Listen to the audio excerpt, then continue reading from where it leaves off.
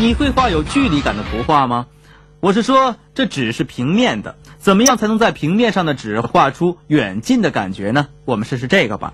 首先，在纸上的中央画一个圆点，就是远处的一点，画上所有的东西都消失在远处的这一点上。然后，我们从这个点向外做一些直线作为参照物，就像这样，向上、向下，然后向两边。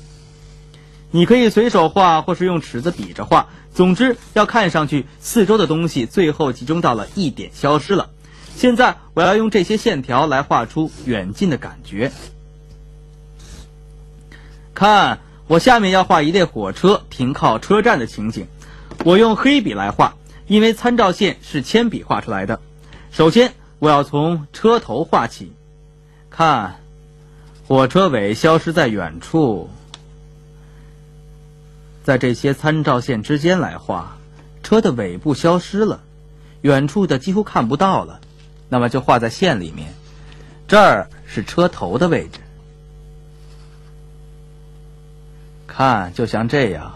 我想这是新式的机车，能钻隧道的那种，非常的快，快极了。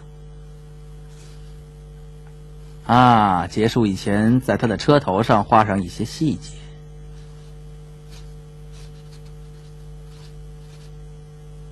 啊，如果在车的侧面也要画细节的话，同样是要越画越远，还是在线里面的。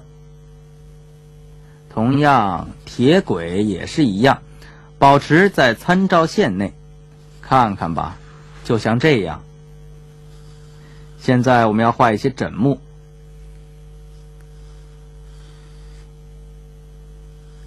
看，就像这样。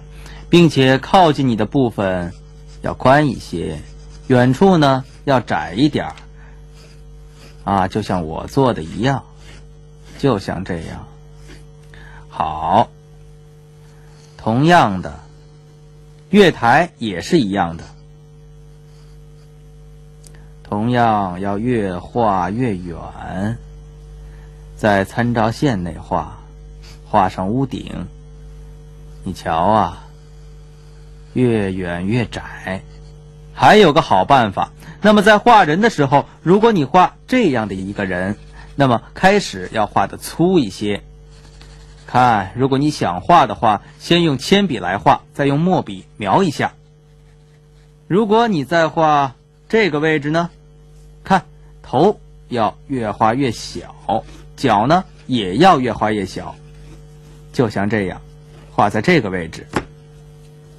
一个小小的头，小身子，脚也要小一些。